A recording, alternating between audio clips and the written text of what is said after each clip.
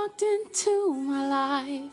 Investigators are examining new YouTube videos of Teleka Patrick serenading an unidentified love interest in their search for clues in her disappearance. Hi, baby. Good night. In the video she apparently shot herself, Teleka repeatedly refers to someone as love and baby. Hi, love. Investigators wonder if this person may have information about what happened on December 5th, the night Teleka vanished. Search has been intensified, but to date, no leads. Surveillance footage from that night shows her trying to check in at the Radisson Hotel.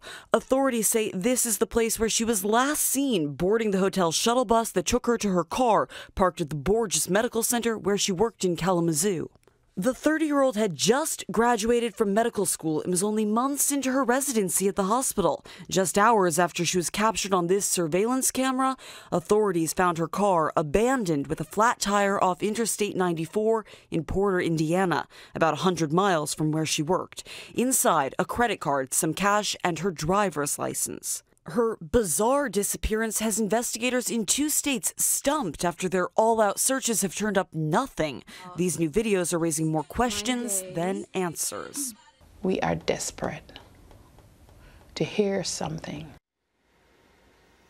And you can just feel that family's desperation. In fact, families so desperate they have put together a re reward. They are um, offering $15,000 for anyone who has information that leads to this woman's safe return.